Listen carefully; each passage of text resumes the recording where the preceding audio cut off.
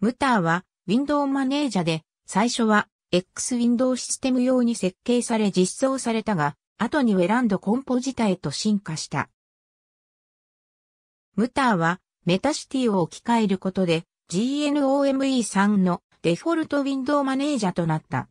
ムターはレンダリングに GTK プラスを使用していたが、クラッターと呼ばれるグラフィックライブラリーを使用することでオープングルもサポートしている。ムターという名前はメタシティクラッターのカバン語である。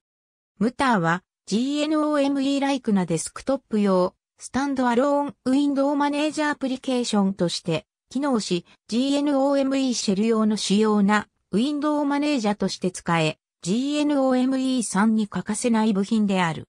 ムターはプラグインで拡張可能であり多数の視覚効果をサポートする。GNOME シェルはムターのプラグインとして書かれている。パンテオンデスクトップ環境のコアコンポーネントであるガラはリベムターを利用してビルドされる。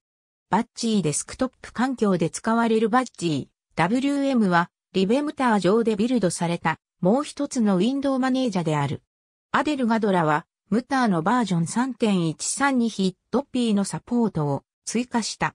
バージョン3.13にでログインド統合はムターローンチに置き換えられた。バージョン3.13、3で WL タッチインターフェースのサーバサイド部分をカルロス・ガルナチョが実装した。オープングルのゲームはコンポジット型ウィンドウマネージャーを使うと実行において余分な負荷が発生する。2010年6月、フェラニックスはムターとコンパイズにおいて同様に余分な負荷を評価した。マフィンは Linux Mint チームによるシナモンデスクトップ環境用のフォークである。GNOME シェルのフォークであるシナモンのシェルは、マフィン用のプラグインとして書かれている。ありがとうございます。